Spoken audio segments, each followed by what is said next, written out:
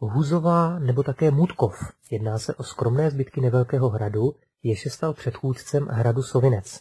Vznikl počátkem 14. století jako středisko lenního statku olomouckých biskupů. V roce 1329 se zde připomíná vok z Huzové. Hrad zanikl ve 14. století po založení Sovince. V roce 1969 zde proběhl archeologický výzkum.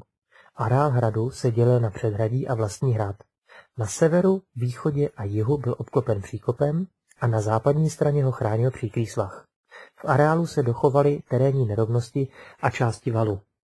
Po zděných stavbách zde nejsou žádné památky a e, v okamžiku, kdy asi před deseti lety jsem tento hrad navštívil, tak ještě nebyl e, zaznamenán na žádných mapách. V současné době už to bude určitě trochu jinak.